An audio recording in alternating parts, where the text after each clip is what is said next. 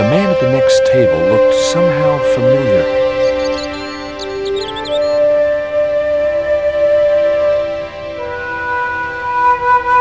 Hey, you. Well, I'd like a cup of coffee if you don't mind. When I finish serving this gentleman,